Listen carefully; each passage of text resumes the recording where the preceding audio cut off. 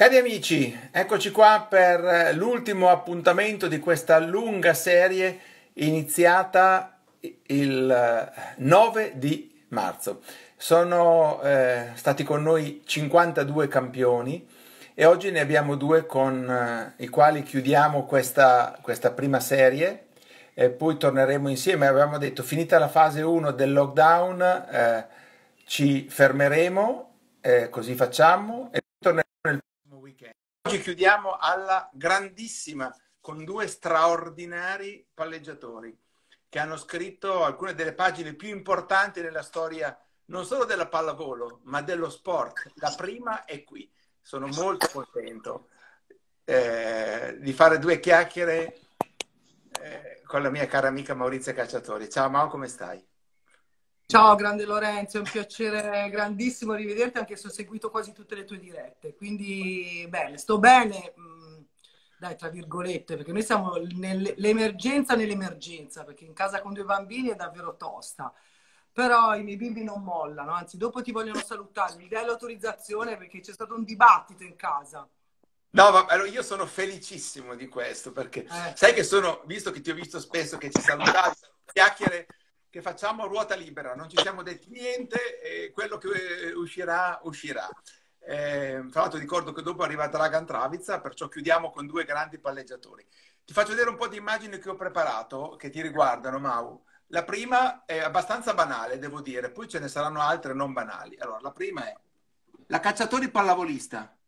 È un, è un lontano ricordo ormai della tua vita, Mau?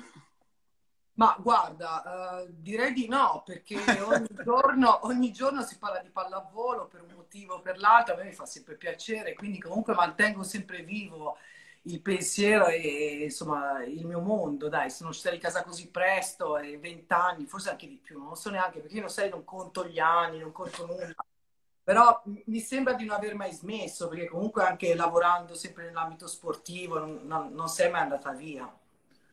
Allora, io conosco la Mau da quando ero una bambina e adesso vi confesserò che la prima volta che, eh, lei lo sa ovviamente perché è stata protagonista, la prima volta che volevo intervistare è scappata via. Sì, perché io comunque ho sempre odiato i giornalisti, almeno quando ero molto giovane, perché continuavo a chiedermi ma cosa vogliono a me, cosa vogliono sapere. Quindi cercavo sempre degli scamotage per scappare. Finite le partite, da, soprattutto a Perugia, che ero molto molto giovane, cercavo sempre le uscite di sicurezza per poter... facevo dei giri incredibili intorno al palazzetto per non farmi beccare. Sì, era un particolare. Dopo ho imparato insomma, a, affrontarli, però insomma. Ma te mi eri particolarmente simpatico perché poi avevo quelli simpatici, quelli proprio che non volevo neanche vederli, cioè zero. Da un po' Grazie, di carina. Ti faccio, vedere, ti faccio rivedere Sbarba. Ah, lì siamo in nazionale ed è un periodo fantastico perché mi ricordo perfettamente, eravamo con eh, Angelo Frigoni, era, erano gli anni in cui poi piano piano siamo diventate veramente forti e lì facevo un gran casino perché io sono stata la capitana, po' una, una giamburrasca. Eh, allora, Perugia innanzitutto vai, sei ragazzina, veramente, sei gio- giovanissima, si parla benissimo di te, la cacciatore diventerà fortissima, ti allena Bernardino, perciò cioè, non è che ti ha allenato uno qualunque, vinci la Coppa Italia nel 92 assolutamente contro pronostico, si inizia a parlare di te, riflettori puntati addosso, eccoci qua, Mau, il punto. Da chi eh, rifuggiva la telecamera a una vita sotto i riflettori come la tua. Come si fa a convivere Guarda. con i riflettori? Ma ehm, io devo essere sincera, quando è scoppiato diciamo tutto eh, grande, il grande amore per la pallavolo e quindi la grande attenzione su di noi, è vero che io ero sempre presa di mira, anche perché io davo molto da parlare, sia in campo che fuori. Però eh, devo essere sincera, il fatto di rimanere tra i miei pareti, nel senso in palestra, allenandomi, tieni conto che col club ero sempre impegnata, con la nazionale non se ne parla perché eravamo sempre all'estero, quindi bene o male non mi sono mai resa conto di tutto questo, me ne sono resa conto forse più quando ho smesso perché mi sono resa conto lavorando nel mio mondo che tante persone hanno tifato per noi, ma fino a quel momento sei talmente concentrato sulla tua vita sportiva che non, che non, non ci fai tanto caso. Almeno io non ci facevo tanto caso, vivevo molto serenamente. Adesso ti faccio vedere un'altra versione. Eh, questa immagine è molto bella, eh? non perché le altre non lo fossero, perché ho scelto delle immagini un po' particolari. Eccoti qua. Eh, quella è, è, una, è una, sfilata da, per Laura Biagiotti, se non sbaglio. Sì, sì. Abbiamo fatto quando abbiamo finito le Olimpiadi a Sydney, ricordo, sì. La tua Ed prima stato... Olimpiade è la prima per la pallavolo femminile italiana nella storia. Sì, è stata un'Olimpiade storica perché fino a quel momento ben ricorderai che passavano soltanto i fenomeni, gli uomini, quindi tutti noi ci ricordavano che gli uomini avevano una marcia in più e noi invece eravamo la squadra materasso. E invece siamo riusciti a qualificarci al torneo dell'ultima spiaggia, ricordo a Tokyo, però siamo stati veramente brave perché abbiamo fatto un passaggio importante no? per, per, per, il, per, il, movimento, per tutti. La, la, federazione pallavolo non so quanto sia rimasta, cioè è rimasta secondo me sconvolta perché non si era mai qualificata l'Italia, quindi abbiamo dato un bel segnale e da lì non, non, non ci siamo più fermate. Eh, dicono genio e sregolatezza. Chi era eh, Maurizio Cacciatori da giocatrice? Chi era? Eri più genio o più sregolatezza? Secondo me, fra l'altro, io devo dire anche, posso dirlo io, dopo parli tu, classe, temperamento e grande agilità. Cioè io ti vedevo fare la ruota e il riscaldamento che mi ha, mi ha sempre colpito molto questo.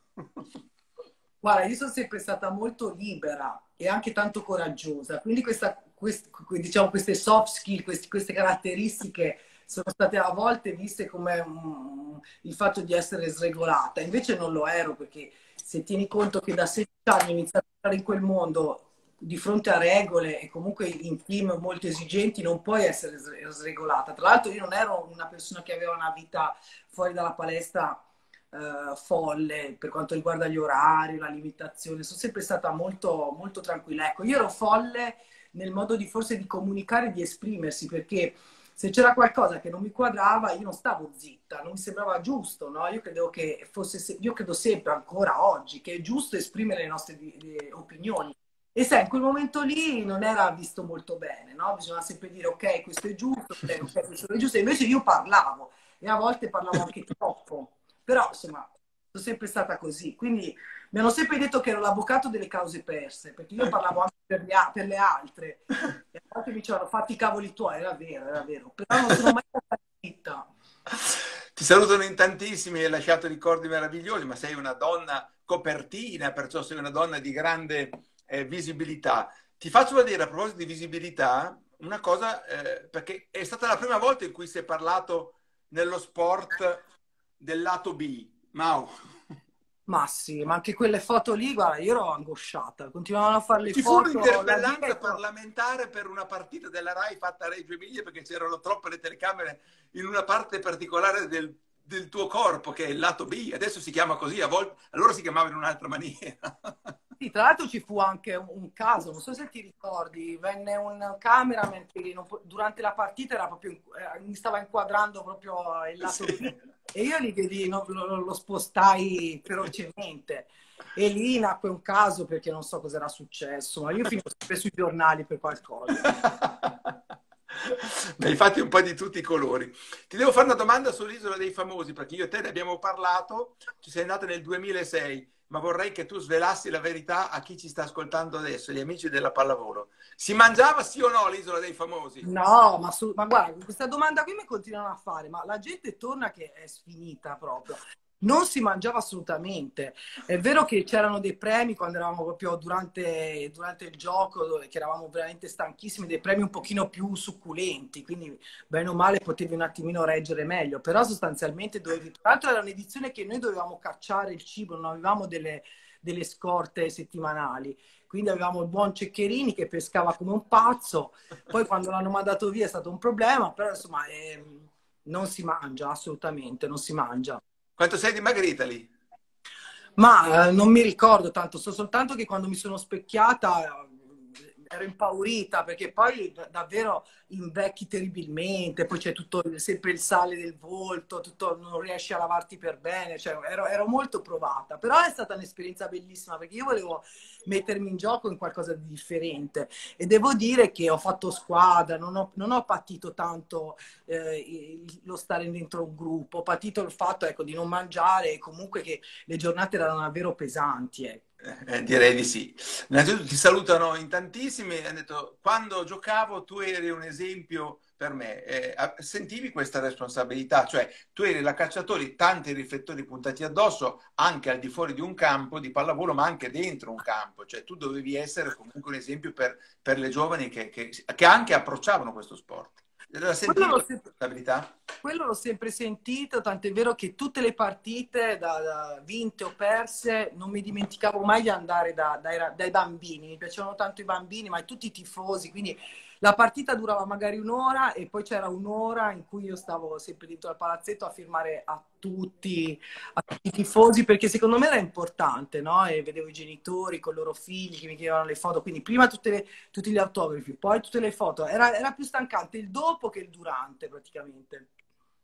Eh, ti hanno visto il festival dello sport insieme alla Picci il miglior compleanno di sempre che hai regalato. Eh, ieri abbiamo parlato appunto con la Francesca eh, che effetto ti fa essere stata l'emblema di questo sport? Cioè tu e la piccinina a un certo punto, ma posso dirlo per certi versi ancora oggi, siete l'emblema, le icone de- della, della pallavolo.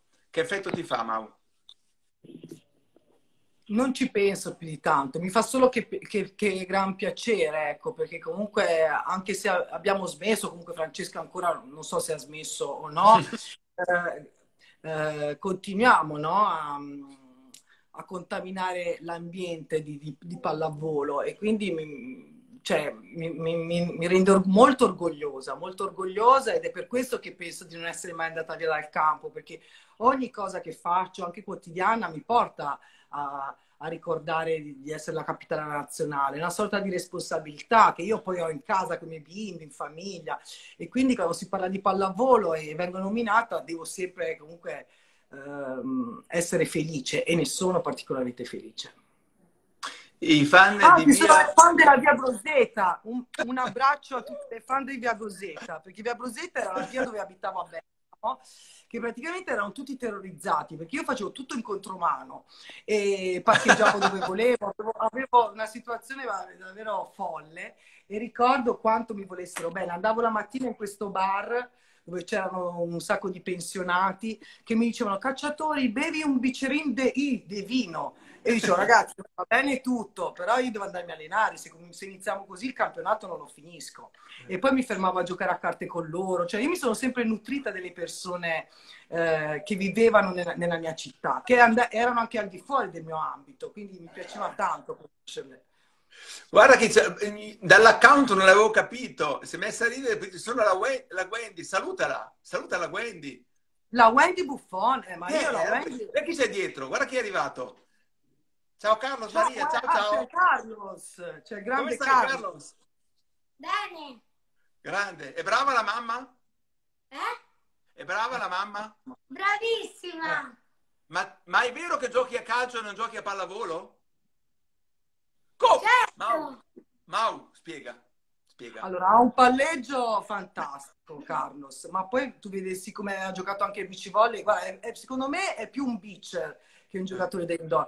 Però lui ama il, eh, Empoli perché è il, portieri, è il portierino dell'Empoli ah. insieme alla sua squadra, quindi lui ama fare il portiere, quindi mi tocca soffrire come una pazza perché ho fegato così e, e, seguire questa squadra di calcio, però sono contenta perché lui è molto, è molto motivato, è un bambino bello tosto, duro come non so che, perché quando, quando perde sono, sono, tragedie, però insomma è, è bello, è un, bel, è un bel bambino, bravo. Ma chissà, chissà, come mai è venuto fuori così conoscendo te e, e Francesco, non lo so, adesso, dopo ci penso, eh, dopo ci penso. Eh, allora, ha detto che non è la Wendy Buffon, ma è la Gwendalyn. Wendalin, vabbè, insomma, anche se fosse Wendalin, noi saremmo Gwendalina Buffon, che è, una, è forse la, la, mia più cara amica, dai. Allora, Mau, ti faccio vedere dal tuo libro il eh, vero senso di appartenenza vale di più di qualsiasi medaglia al collo. Traduci.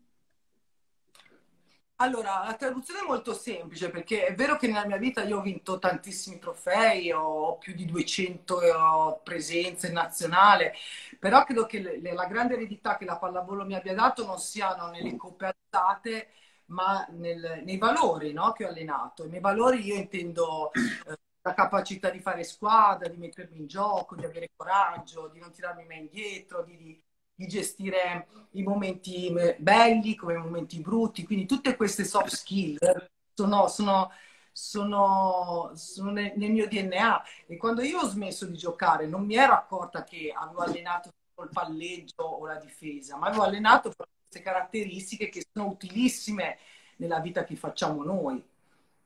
Quindi, senza la storia di questo meraviglioso sport, le tue presenze in nazionale, Mauro, sono 228. Dopo arriviamo alla nazionale. Ti faccio vedere un'altra fotografia e poi vi racconto cosa è successo l'anno in cui, eh, gli anni in cui commentava con noi la Mau. Allora, questo è un omaggio floreale, ne avrai ricevuti nella tua vita un miliardo e mezzo. Devo dirvi una cosa, poi dopo tu ci parli del rapporto con i tifosi.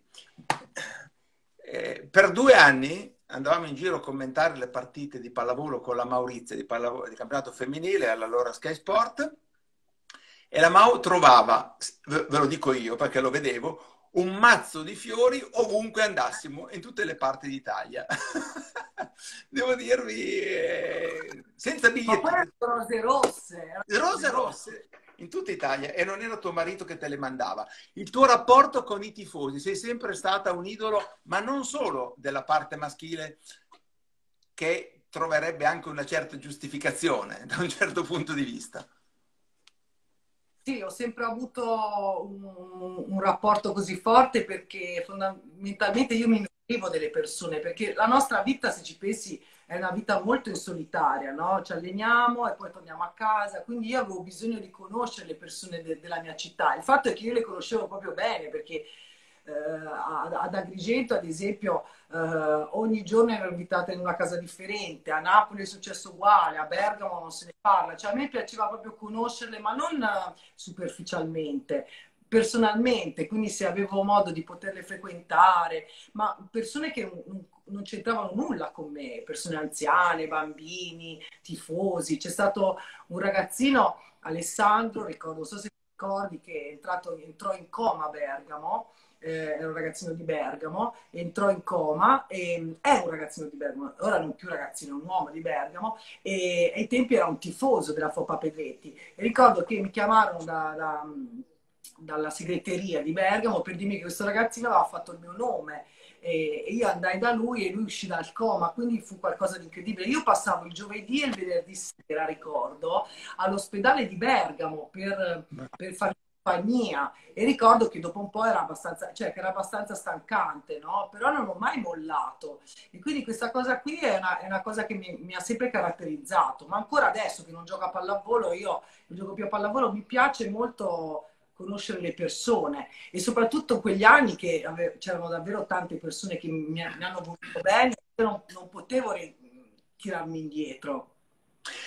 E salutiamo anche Nestor Lukac che è in Argentina perché questo modo eh, di vivere un po' strano, almeno fino ad oggi Mau ci ha costretto a stare tutti in casa, lontani fisicamente ma vicini invece dal punto di vista de, del, del, collegamento. Carlos, lo sai che la mamma ha giocato in nazionale? Te ne parla mai di quando vestiva la maglia dell'Italia? Sì? Sì, anche Cosa... quando è stato alle Olimpiadi. Grande, grande Carlos. Quanti anni hai Carlos ormai? Nove. Orco can. Quando sei grande Tra l'altro Lorenzo bisogna salutare il cugino di Carlos, che anche sì? lui Luigi, portiere dell'Empoli. Ragazzi, qui abbiamo un sacco di persone che ci stanno seguendo. Fantastico. Allora, ti faccio vedere la mamma. Allora, questo qui è il libro della nazionale, ci sei anche tu, Mau, ovviamente. E c'è una tua testimonianza molto bella. 1998, mondiale, l'Italia arriva quinta, tu vieni premiata miglior alzatrice di quella manifestazione e scrivi un premio che mi ha cambiato la vita. Sì, mi ha cambiato la vita perché è, stata, uh, è stato un premio tra l'altro inaspettato, ma avevamo davvero giocato molto molto bene. E, e, quando sono ritornata in Italia mi sono resa conto che non ero più la, l'atleta di prima, ma che avevo un peso, non un peso, un, una, una, situazione che dovevo comunque mantenere. Se sei considerata la miglior palleggiatrice del mondiale, devi giocare sempre come miglior palleggiatrice. e, e, quindi non potevo sbagliare nulla, cioè, o perlomeno io dentro di me sentivo che avevo alzato l'asticella e questo mi è servito molto, mi è servito molto perché ho, ho continuato ad allenarmi e a cercare di, di, perfezionarmi. Questo io lo devo molto ad, ad Angelo Frigoni, ma anche a Giulio Velasco, che hanno cambiato molto l'identità della nazionale delle, ragazze del volley. Quindi questa esigenza che prima di, tutti, prima di, tutto deve arrivare da noi stessi. Noi siamo i migliori allenatori di noi stessi e possiamo andare oltre ogni limite perché se ci pensi bene siamo noi quelli che pongono i limiti a noi stessi, no? E quindi dobbiamo andare Io ho fatto così, ho vinto quel premio e per me è stata una grande responsabilità perché non puoi vincere un premio e poi giocare da cani. Ho vinto il premio e ho cercato sempre di tenere alta il livello. Dicono che Carlos ti assomiglia moltissimo, è vero, è vero. Sei bello come la mamma, Carlos. Pensa che fortuna è. Tra è duro come la mamma, perché oggi ho chiamato la mia mamma e gli ho chiesto, mamma, ma io quando ero piccola ti ascoltavo? Lei ha detto di sì, perché oggi stavamo facendo inglese e lui vuole fare come gli pare a lui inglese, facevamo le divisioni, vuole fare come gli pare a lui le divisioni. No, perché la maestra mi dice di fare co- come dice... Io faccio come dice la maestra. Hai capito qual è? Troppo precisa. Eh, hai capito qual è l'emergenza nell'emergenza? Fantastico. Allora ti faccio vedere, così chiudiamo il capitolo nazionale, poi abbiamo ancora qualche minuto da stare insieme piacevolmente. Eh, tu in nazionale eh, sei arrivata seconda agli europei nel 99, cioè questi a Roma, questi a Roma. Hai vinto il bronzo qui, anzi scusa, sei arrivata seconda in Bulgaria nel eh, 2001 e hai vinto i giochi del Mediterraneo sempre nel 2001. La domanda che ti faccio, in nazionale non hai vinto moltissimo o sei appagata, Mau? Guarda, io sono molto felice del, del, mio percorso proprio pallavolistico, con la maglia della nazionale e, e senza. Uh, in nazionale devo dire che non ho vinto tanto, ma perché ho avuto un percorso abbastanza travagliato. Eh, è andato un po' a zig zag, eh? È andato un po' a zig zag, ma guarda, tornassi indietro lo, lo ripeterei proprio in quel modo. Ricordo proprio anche all'inizio, quando c'era Marco Aurelio Motta, che io volevo andare a fare l'esame di maturità e lui mi disse che dovevo partire il, il pomeriggio prima dell'esame. La, l'esame era la mattina e dovevo partire il pomeriggio prima. E io invece volevo, volevo prepararmi un paio di giorni prima l'esame, per bene. Come ha detto lui, ero, ero molto precisa e ricordo che lui non, non ne voleva sapere e io sono andata via, ricordo. Sono sempre stata abbastanza tosta, però la nazionale mi ha dato veramente tanto proprio per consapevolezza, quindi a, a lei devo, devo tanto della mia carriera. Ti faccio vedere un'immagine che ci riprende, tu ovviamente sei in primo piano, guardati qua, allora qua siamo a Londra, eh, questa è l'Olimpiade del 2012. Tu eh, però sei... adesso devo parlare io di te. Allora, tutti... No, no, no, no, no, non è... Devono sapere che io mi fidavo molto di Lorenzo, era il mio punto di riferimento. E per arrivare al palazzetto, ricordo che dovevamo ovviamente prendere la metropolitana a Londra. E Lorenzo quando eravamo in metropolitana sbagliava tutte le fermate, quindi se la partita era alle 4, noi eravamo capaci di arrivare alle 4 meno 10, quindi io ero sconvolta. Però mi sono divertita tantissimo e lui poi ha perso, ti ricordi che ha perso anche la voce? Sì, durante la partita. La tragedia nella tragedia, però è stata davvero un'esperienza meravigliosa, meravigliosa. È stata bellissima, insomma, ci siamo divertiti molto. Devo dire che una sera abbiamo chiacchierato così a lungo che a un certo punto era finita la metropolitana, non so dove siamo finiti. No, parlavamo e poi guardavamo dove eravamo finiti e poi ti ricordi eravamo sempre a chiedere a tutti come dei disgraziati. Dove siamo? Esatto. Beh, diciamo che è una, be- una, bella accoppiata andare in giro. Ascolta Mau, eh, con il club hai vinto tantissimo, quattro scudetti, quattro Coppa Italia, tre Supercoppe, tre Champions League, una Coppa CEV eh, con Bergamo anni meravigliosi, ma c'è stato un momento in cui tu hai dimostrato che eh, avevi le palle, cioè che eri una super giocatrice. Vai eh, a Tenerife, vai via, lanci una sfida incredibile a te stessa, vinci là il campionato, la Coppa delle Regine e la Champions. Sì, anche, anche, la scelta della Spagna è un'altra scelta coraggiosa che va oltre l'essere sportivo, perché io devi sapere, Lorenzo, ho sempre voluto sfruttare lo sport come un'opportunità per, per, tante cose che avevo in testa e uno dei miei sogni era quello di imparare le lingue. Quindi io volevo andare in Spagna per imparare lo spagnolo prima di tutto, questo lo posso dire a fine carriera. La mia priorità era quello, quindi ho imparato perfettamente lo spagnolo ed ero molto orgogliosa, mi piaceva vivere una realtà diversa, ho conosciuto un paese che mi rappresenta molto perché la Spagna è veramente un gran bel paese e fare l'esperienza da straniera in un club come quello di Tenerife che era un club molto blasonato però non aveva vinto ancora tantissimo a livello internazionale è stata una soddisfazione grande perché poi abbiamo vinto come hai detto te tutto, ma è stata proprio l'esperienza di vita, infatti io da lì ho iniziato a, a rimanere in Spagna e ho cambiato città perché adesso siamo quasi sempre a Palma di Mallorca, dove ho giocato anche a Palma di Mallorca, però ho conosciuto un paese che se non avessi avuto la pallavolo non mi avrebbe dato la possibilità di essere stato conosciuto e visto così, così bene. Sei soddisfatta della tua carriera, Mau? Moltissimo. E anche del fatto di aver smesso presto, perché io ho smesso presto, ma perché sapevo che tutto doveva avere un inizio e una fine, quindi prima, prima smettevo e prima potevo riaprire il mio nuovo ciclo. E prima potevo avere anche Carlos e Ines, che ora sta studiando da, in sala. Cosa studia? Cosa studia? Ah, c'è una domanda di Carlos. Sei bravo come, come manager. Sei un bravo manager, cioè come, ti piace come, sì. come giornalista? Mi piace molto. Mi piace molto. Mi piace...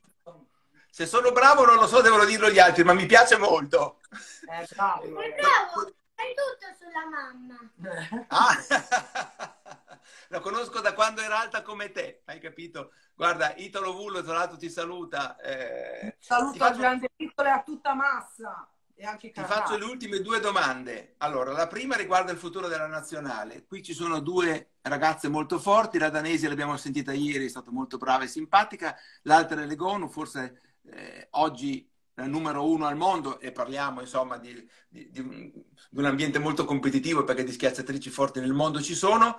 Come vedi il futuro della nazionale italiana e della pallavolo femminile, Mau?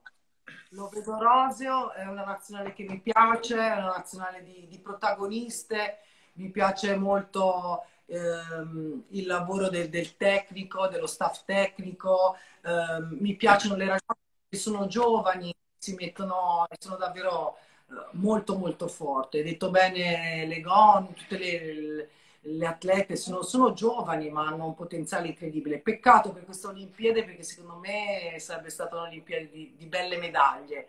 Però ci rifaremo il prossimo anno, chi lo sa. È una bella realtà e hanno una grande eredità, quella di, di, di far conoscere ancora di più ed entrare nelle case italiane, perché commentarle, vederle e seguire le loro partite è davvero una grande soddisfazione. Ma io non lo dico solo nel femminile, lo dico anche nel maschile. Io sono molto orgogliosa dei, dei due staff nazionali perché secondo me sono davvero il top. Allora, ehm, Carlo, dicono che hai una bella maglia, ma è più bella quella dell'Empoli. Ho letto è un, una, un, un, commento che è arrivato. Eh, Mau, ti hanno chiesto all'inizio, ma l'ho tenuta in fondo la domanda, e poi ne ho uno che riguarda il futuro dei nostri figli, di, dei tuoi figli. Eh, alleneresti mai, hai mai pensato di fare l'allenatrice? No, no, perché in questo momento ah, io ho smesso di giocare, lavoro nel mondo della comunicazione, sono spesso via, però la mia priorità sono i miei bambini, quindi dover allenare per me è togliere qualcosa ai miei figli e, e, non lo farei bene, perché quando fai l'allenatore devi essere H24 a disposizione della squadra e io in questo momento della mia vita voglio essere H24 a disposizione loro che mi fanno venire un esaurimento, però è il motivo giusto per cui adesso sto vivendo tutti i miei giorni le mie realtà. Hanno detto che avevi un gran palleggio, lo faccio rivedere perché stilisticamente eri veramente perfetta. Qual è la palleggiatrice che ti piace di più? Ti chiede adesso Giampaolo. Uh, di oggi? Sì. A me mi piace molto la Volosh e poi mi piace ovviamente la, la Malinov. Mi piace molto la Malinov perché poi ha un passato che, che, che, che conosco perfettamente, so che è nata nei, nei palazzetti e mi piace molto co- come gioca. È giovane, quindi è normale che deve, debba ancora crescere tanto però mi piace molto. Così come la Oro, io sono molto tifosa delle giovani palleggiatrici perché eh, mi piace vederle all'opera, mi piace vedere quando sbagliano perché so per, perfettamente perché hanno sbagliato, perché una palleggiatrice cresce negli anni, non è come negli altri ruoli. Quindi sono una grandissima estimatrice. Oro che ci ha confermato ieri la Danesi che va a Monza, concordo con chi ha scritto quando senti parlare i campioni eh, capisci molte cose. Ti faccio vedere un'ultima immagine, la faccio vedere anche a Carlos, eh, perché questa non l'hai mai vista Carlos. Questo sei tu prima di nascere, eh, con il papà, quello dentro la pancina sei tu, e guarda il titolo, per mio figlio ho messo la testa a posto e la domanda che ti faccio, Mao, è alla luce di quello che stiamo vivendo, che futuro ti immagini per i tuoi e i nostri figli? Dunque, io l'ho detto tante volte, starei in casa anche un anno, fosse per me, però i miei figli no. Uh, questa situazione, mm, questo distanziamento sociale è stato molto forte, eh, però sulla mia pelle può passare. Il fatto che loro non abbiano la possibilità adesso di, di, di, di allenarsi, di andare a scuola, di, poter vivere la vita che avevano prima mi fa molto male e da madre, te lo dico sinceramente, è, è tosta.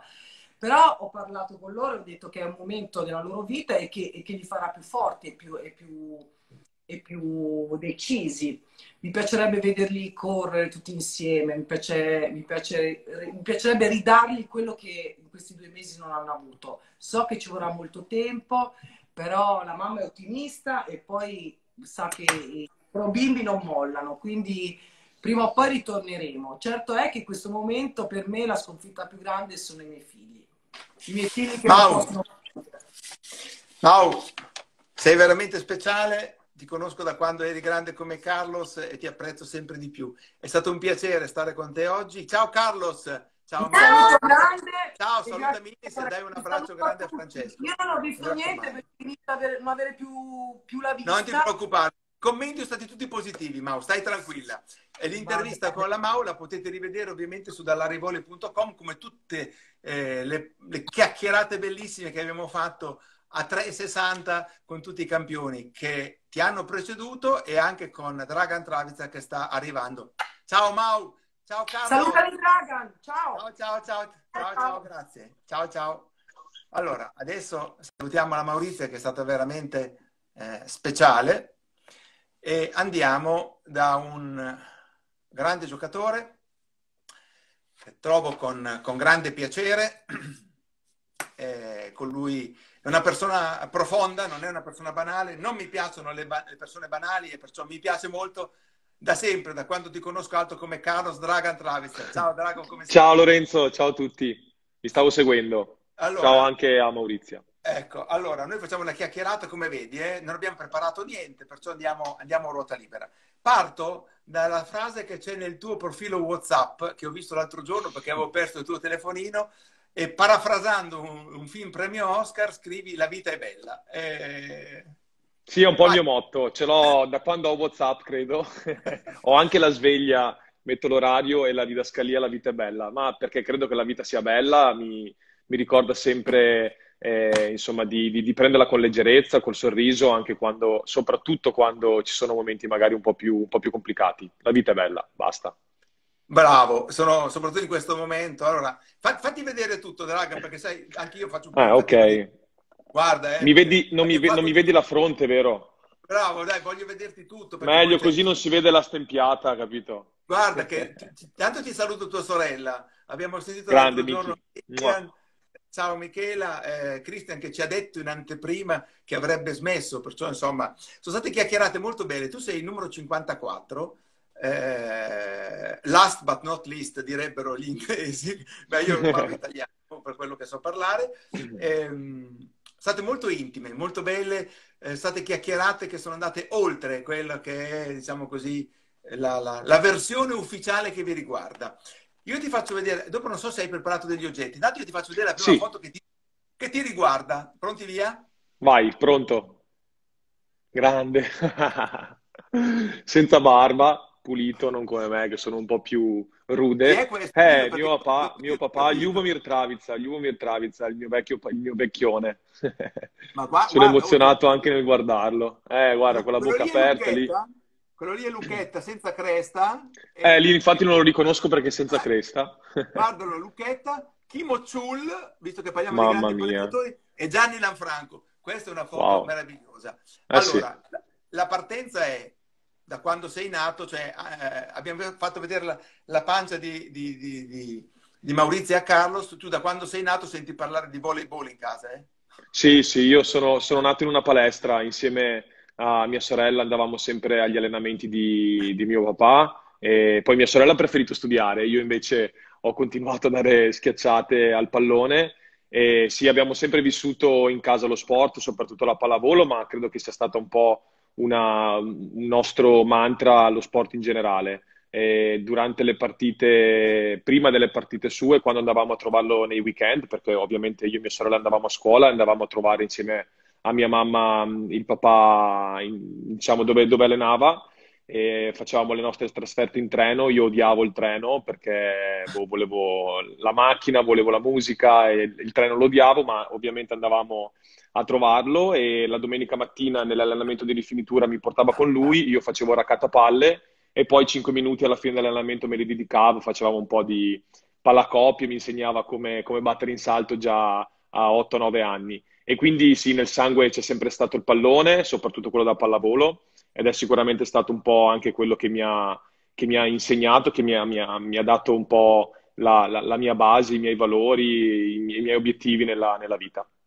Allora, ti arrivano dei saluti in questo mondo globale ormai, eh, dove siamo tutti connessi H24, eh, anche dall'Iran, perciò siccome noi andiamo a, a livello della casualità nei, Grande nei... passione in Iran, eh? sono eh? pazzi di passione in Iran. Bravo, ecco, dici allora la tua esperienza iraniana. È stata un'esperienza... Sono curioso eh, io. Non me l'hai mai è stata un'esperienza... È vero, è vero. È stata un'esperienza molto forte, molto originale nel contesto in cui siamo abituati a vivere la pallavolo. Intanto una, un paese che vive, piange, soffre per la pallavolo. Se qua spesso piangiamo, viviamo per il calcio, la pallavolo lì è veramente eh, lo sport numero uno. Prima delle partite ci aspettavano 6-7 mila persone al palazzetto nel palazzetto potevano entrare 4.500, massimo 5.000 persone, ma le persone che rimanevano fuori eh, restavano lì, restavano nel parcheggio e, e senti, sentivamo da fuori urlare anche loro. Quindi c'era un'atmosfera pazzesca anche quando andavamo in trasferta. Era veramente, eh, lasciatemi passare il termine, pauroso giocare in Iran perché un po' perché sono tutti maschi, quindi non ci sono donne purtroppo nei palazzetti e quindi il tifo è molto rumoroso, a volte un po' aggressivo, però hanno una passione sconsiderata. A parte questo, l'esperienza non è andata bene perché non ci pagarono una lira e noi a dicembre ci prendemmo il passaporto e fuggimmo, fuggimmo a casa. Però è stata un'esperienza dura anche dal punto di vista insomma, caratteriale perché ver- eh, hanno una mentalità, una cultura completamente diversa dalla nostra. Anche a spiegarla faccio, faccio, fatica perché mi prendereste per matto, però è stata tosta. Ha scritto Alberto Giuliani che c'è passione per la pallavolo come a San Severino Marche, che è a casa sua.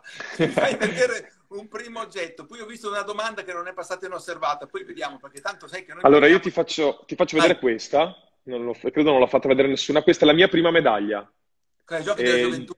Giochi della gioventù, facevo i 400 metri, sono stato sempre molto bravo nella corsa campestre, nella resistenza e quindi feci questo, questa gara a livello provinciale perché mi ero qualificato per le selezioni provinciali e feci i 400 metri. E mi ricordo che arrivai secondo e c'era mio papà sugli spalti, quindi ero molto emozionato.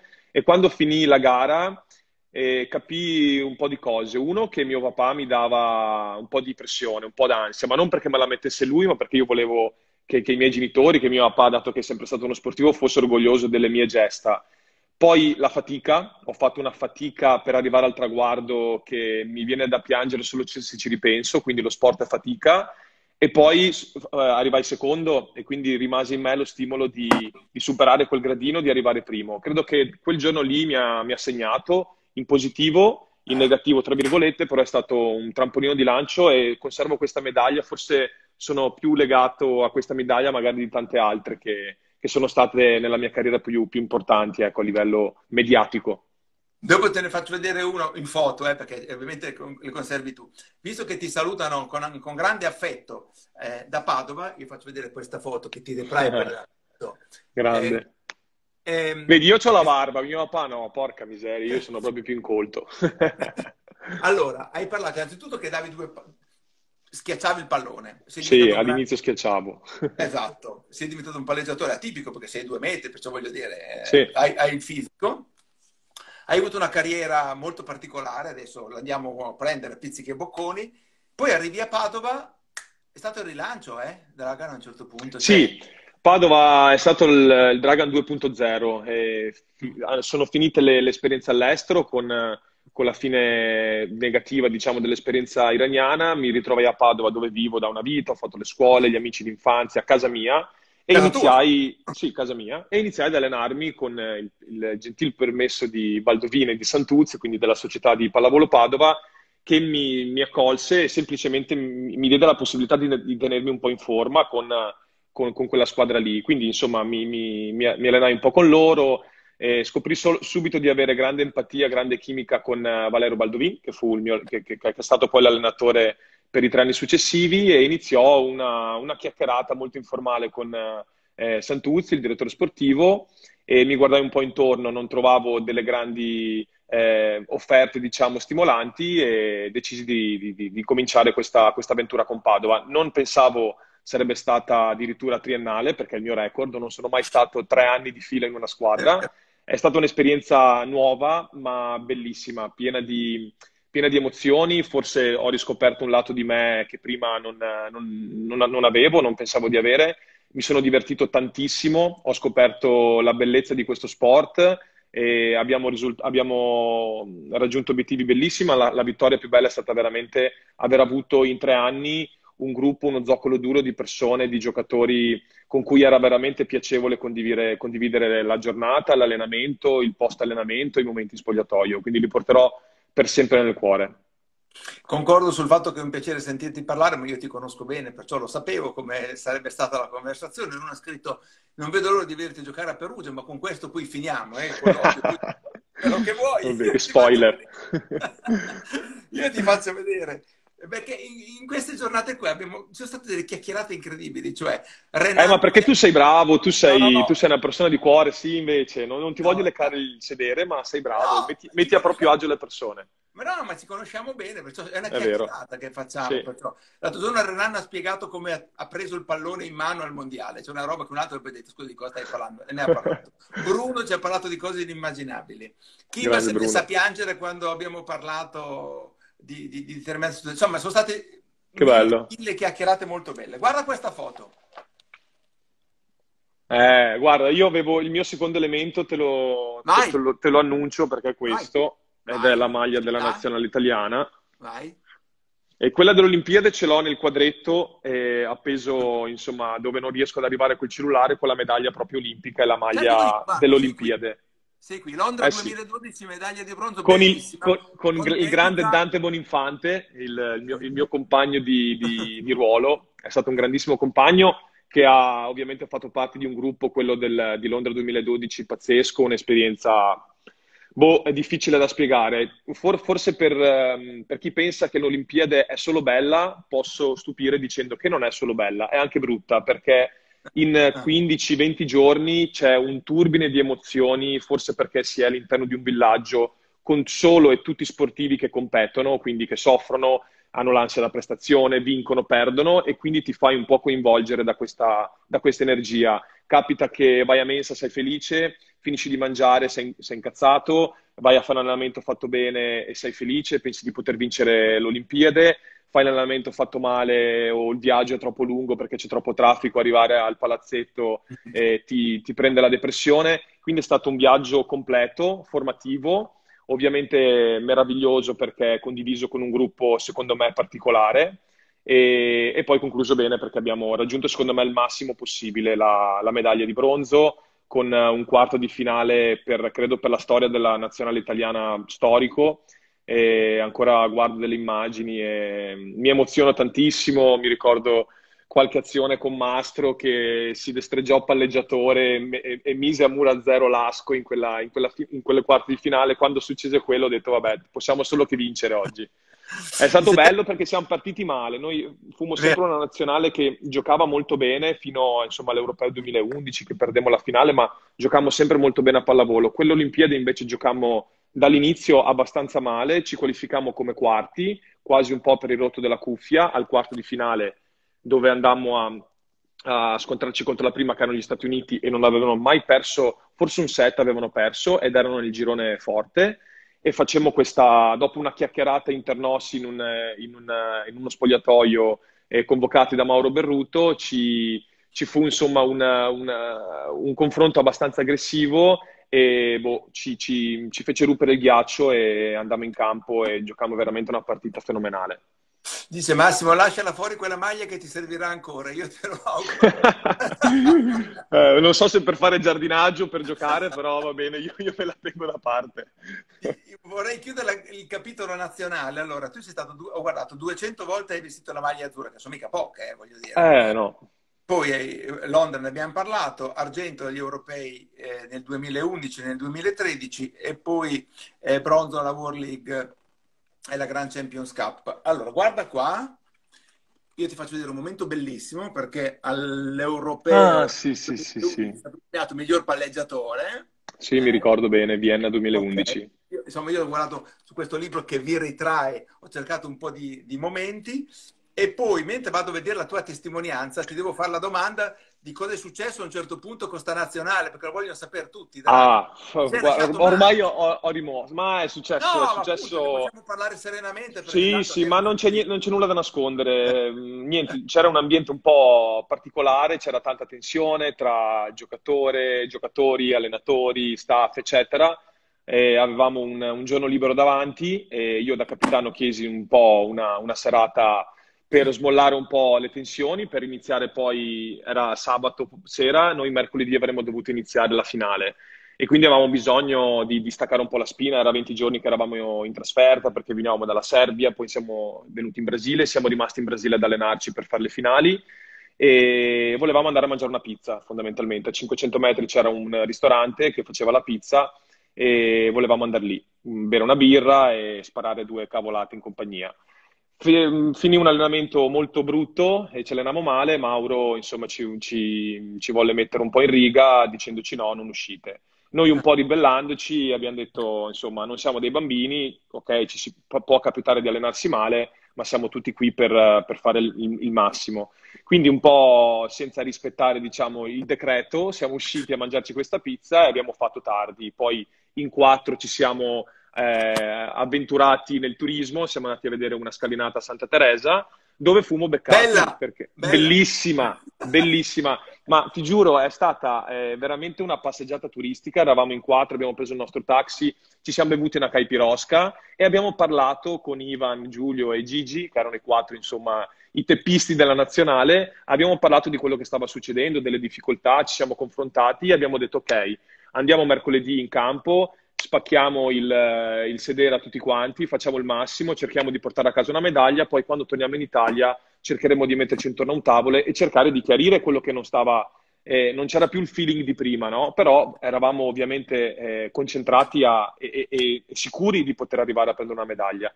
Fummo beccati e il giorno dopo giustamente l'hanno, l'hanno detto a Mauro, Mauro ci ha, ci ha, espulso, siamo tornati a casa ammettendo insomma il nostro errore. E, però credo che fu un errore, secondo me, boh, un po' ci siamo arrivati no, a fare quell'errore. Credo che non, io, io, non mi sento, cioè mi sento in colpa per aver, per aver disatteso le, le, ordinanze del mio allenatore, ma non mi sento in colpa per, per quello che realmente eh, ha portato a, a, quella, a, quella, mancanza di, insomma, di, di, di rispetto del, del regolamento. Poi niente, è successo un po' un casino, Mauro la, si, è, si, è, andato via, io non sono stato più richiamato, in, in quella riunione insomma sono son dette un po' di cose e, e, basta, niente, poi forse sono diventato vecchio e Simo, Simone è molto bravo, quindi eh, giustamente insomma il, il ciclo era, era finito e, e, va bene così. È, è stata dura, eh? Il tempo è stata la medicina più, più, forte e poi insomma col tempo piano piano sono riuscito a passare quel momento. Ma ti ringrazio perché ne hai parlato con grande serenità e grande lucidità. Ma, sì. ma lo sapevo, lo sapevo. Grazie. Allora, eh, ti faccio vedere l'unico scudetto che hai vinto in Italia, perché cioè, hai giocato 250 sì. anni, ormai anche se sei un ragazzino, e hai vinto solo questo Grazie. scudetto qua. Eh sì, devo vincere un altro, porca miseria. sì, ho vinto lo scudetto con la grande Lube Macerata di quei tempi, bellissima questa foto con Igor, eh, Igor Omercen, grandissimo compagno di squadra che eh, fi- finì la sua grandissima carriera in Italia perché poi proseguì altri sette anni in Giappone con, uh, con la Lube. Mi ricordo che era un catorcio, eh, Igor non ce la faceva più, era caviglia distrutta, schiena, e mi diceva sempre Drago, io vinciamo sto scudetto, ti prego, perché basta, non ce la faccio più, non ce la faccio più. Fece, vabbè, a parte un anno spettacolare, un, un uomo unico, e vinse, se lo meritò, perché lui era un po' la bandiera di quella squadra, e poi fece altri sette anni in Giappone a primeggiare ancora.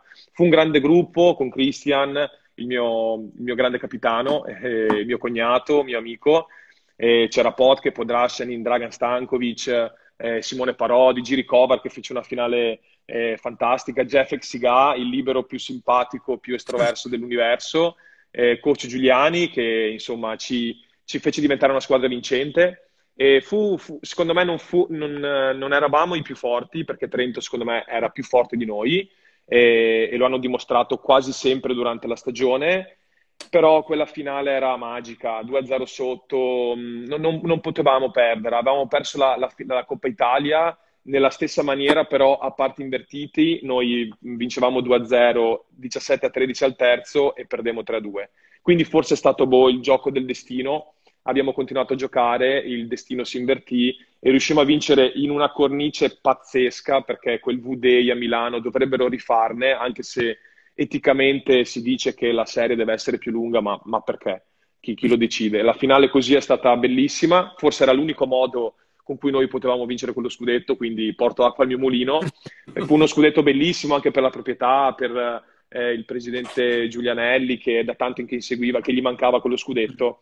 Eh, è stato bello, bello, eravamo tanti italiani, era un po' lo stesso gruppo che poi faceva parte della nazionale, eh, mi ricordo che poi con Simone Parodi in pochi ci fermammo a Milano a festeggiare. Eh, Lì autorizzati? Lì, lì autorizzati, esatto, era rompete le righe, c'eravamo io, Simone Parodi e Giri Kovar, eravamo un po' i più giovani del gruppo, io avevo la bandana, la bandiera Italia con la tuta della Lube Macerata, la medaglia tutta la notte e ci siamo divertiti, abbiamo ballato, bellissimo, bellissima quella sera lì. Eh, ti hanno scritto, e qui eh, bisogna che facciamo adesso un girettino, Dragan, ti ha scritto, vieni a vincere il secondo scudetto personale a Perugia e perciò facciamo un girettino tra i palleggiatori. Non, siamo... fa, non, ti faccio vedere quello che sto facendo sotto lo schermo, però puoi immaginare. Aspetta, no, forse ci arrivo, eh, ci arrivo, sei sono abbastanza esperto. Allora, eh. stando ai si dice, perché fino a che non ci sono le comunicazioni ufficiali, allora, sì. Getecco va a, eh, alla Lube, sì. Baranovic va a Verona, eh, eh, Spirito va a Monza, Saitta va a Vibo, parlo dei palleggiatori, Ierrezuelo torna a Piacenza e Travizza va a Perugia, cioè praticamente un gioco a scacchi. Eh, eh sì, eh, ma era un po' preventivabile che quest'anno ci fosse un po' il valzer, tanti palleggiatori erano sotto contratto, tanti palleggiatori forti avrebbero finito il contratto, quindi è normale che quando si muovono le prime 3-4 della classe si gira un, si gira un po' gira un po' anche tutto il resto. E, ehm, per quanto mi riguarda, eh, c'è una, una grande poss- possibilità che io vada a Perugia. E non è ancora ufficiale, diciamo che questa trattativa è rimasta un po' sospesa per, perché ovviamente ci sono cose più importanti adesso a cui, a cui resistere, eh, però insomma credo che a breve ne, ne, ne riparleremo, è, è, una probabilità molto alta, quindi ovviamente non, è, non c'è l'ufficialità, e non, non, non, si può dire niente perché non si sa mai, soprattutto in tempi di coronavirus, eh. ma le voci sono vere. Sì. Bene, oh, che bello, a me piace, mi piace parlare con le persone sincere, oltre che... Ma perché se uno non ha niente da nascondere... Ma sì, ma cosa, cosa c'è eh. di male? Cioè, mi, mi, mi, dispiacerà nel caso in cui succedesse lasciare la, la mia città perché mi, mi, taglierei una, una, una, mano per Padova, eh, però è vero anche che per me Perugia, se fosse, è una opportunità gigantesca e quindi da, da professionista, da amante insomma, del, del rischio e del, del, de, dell'ambizione di, di, raggiungere un trofeo deve essere giustamente quello che guida un atleta, no? Quindi, insomma, 34 anni, avere una possibilità del genere, eh. devo, devo, esaminarla bene. No, come Drago, 34 anni? Ma eri un bambino? Eh, quasi, madonna, non ci posso credere. 33, eh, però ad agosto 34. Allora, abbiamo, abbiamo ancora qualche minuto perché sai che su Instagram si sta 59 minuti. Allora, eh, l'esperienza sì, del, del, beach a Padova, ti scrivono. Questa è la terza cosa che ti volevo mostrare. Okay, è la maglia, è la ah. maglia della nostra scuola di Beach Volley Padova. Che voglio venire a vedere. Sì, vieni perché è un posto pazzesco. Adesso speriamo di riaprire tra poco Eh, ma oltre al beach volley Padova abbiamo un posto molto bello, un'oasi con un laghetto, tanti alberi, tanto verde, quindi anche spazio per i bambini, per, per un aperitivo, musica. Abbiamo quattro campi da beach, fra poco faremo due campi da paddle anche e altri due campi da beach all'esterno. È un'attività che dura tutto l'anno, 365 giorni all'anno, escluso coronavirus, col pallone presso statico che copre i campi d'inverno e, e li scopriamo poi con, con l'estate. È una, stata una grande scommessa, è partita con uh, i miei due soci Davide Grigolone e Andrea Garghella, un'altra ah. grande conoscenza della pallavolo Salutami. italiana. Certo, ve li, te li saluto molto volentieri. E sono stati, vabbè, loro sono mo- molto bravi in quello che fanno e mi hanno coinvolto un po' iniziando da una base amichevole ed è nato questo sogno di trovare un posto per insomma lavorare insieme sull'ambito l'ambito sportivo che, che ci accomuna. E abbiamo tutti e tre, tre compiti diversi e tre caratteri anche diversi, ma ci siamo trovati molto bene anche professionalmente parlando. Abbiamo istruttori meravigliosi eh, che stanno lavorando nella, nella, giusta direzione per quanto riguarda gli amatori che si avvicinano a questo sport. Abbiamo tanti iscritti, credo che gli iscritti siano tutti molto felici e desiderosi di ritornare, è una realtà nuova, giovane, ma secondo me stiamo facendo le cose fatte bene. Dai che domani qualcosa si muove, Drago. Dai, sì, dai. poi Zai ha parlato oggi e sembra che qualcosa si muova, ma già il telefono di Beach Volley Padova sta scoppiando perché ci chiedono a noi, ma noi prima di dire una cosa per un'altra aspettiamo il decreto ufficiale. Speriamo bene, dai.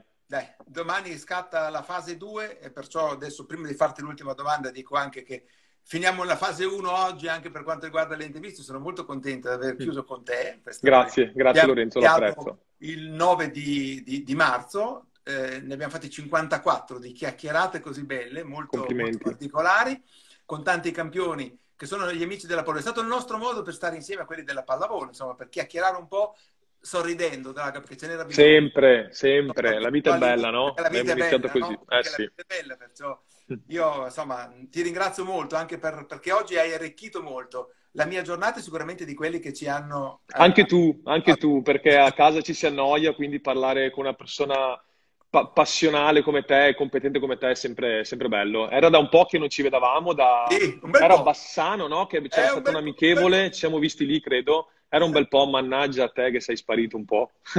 Periodo un po' così quello lì, eh? Sì, sì, sì, sì. Corro al banco al mattino per un caffè, dice... poi quello che ci siamo detti lo siamo detti io e te. Basta. Sì, sì, sì. Allora, sì. Con... allora su questo libro eh, che io ho fatto, che ho fatto vedere tante volte, che, perché è il fil rouge della nazionale, ci sono i contributi di molti campioni, tra cui tu.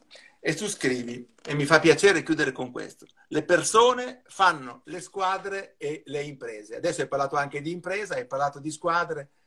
Io sono, sono d'accordo con te al 100%. Sì. Sono anch'io ancora d'accordo con quelle parole che ho detto. La, la, le persone e il cuore delle persone fanno la differenza. E puoi avere il fisico di LeBron James, puoi avere la mentalità del grande Kobe Bryant, ma se non hai il cuore eh, non, non, diventi né Kobe Bryant né LeBron James. Quindi sì, eh, le persone fanno la differenza. Eh, ieri, oh, ieri o l'altro ieri credo hai parlato con Christian Savani. Ieri l'altro. ecco, ieri l'altro e lui è una di quelle persone che per me, gliel'ho scritto anche quando insomma, ho letto, del, anche se lo sapevo, del ritiro, del ritiro di avere un grande cuore. Le, le persone con grande cuore si, si sentono, si sentono subito e credo che le persone di grande cuore, eh, questo, questo, mondo ne ha bisogno e fanno la differenza. Poi si può vincere, si può perdere, si possono vincere medaglie, trofei, coppe, ma se si fanno le cose col cuore, anche se poi eh, non si arriva a vincere una medaglia, si lascia un segno. Quindi io sono una persona di cuore perché sono una persona emotiva, mi emoziono facilmente, sono sensibile, anche se a volte lo do poco a vedere, ma le, le, le cose che mi stanno a cuore mi, mi resteranno sempre a cuore e lotterò sempre, insomma, col cuore. Grazie Drago. Allora, sono state 54 storie bellissime, non solo in Italia ma nel mondo. Siamo andati in Brasile, Stati Uniti, Bulgaria, Turchia. Andatevi a rivedere su dellarivole.com tutto. Quella di Ganev è imperdibile. Grande Ganev. Di ogni, di ogni, di ogni tipo. Che girava per il campo. Bravo, torneremo la settimana prossima con qualche altra, qualche altra storia da raccontarvi. Vi dico che vi faremo vedere Gardini senior e junior, perché aspettiamo uh, che Davide bello. torni dagli Stati Uniti. Insomma, abbiamo pronto ancora, però solo sabato e domenica. Io ti lascio con questa immagine molto bella, perché insomma questo è il podio Grande di Londra. E, perciò... e il podio di Bobo anche. Eh, sì, e qui c'è tutto quello che significa la pallavolo eh, nella sua potenzialità, cioè quello che sa esprimere questo sport meraviglioso, popolato da persone speciali come te, Dragan. Grazie e... a te, Lorenzo, per dare voce a, a queste cose, alla pallavolo. Sono molto contento di averti ritrovato oggi. Mi raccomando, salutami tanto il papà, non solo Io, il papà certo. della famiglia, ma voglio dire, il certo, papà certo. mi ha fatto sognare quando ero ben più giovane di te. Ciao un, ba- un, bacione, ciao a tutti, grazie. Ciao, ciao. Tutti. ciao, Buona ciao, ciao. pallavolo ed è il caso di dirlo, Drago. Buona vita a tutti. Ciao. Buona vita. Ciao. Ciao, ciao, ciao, ciao.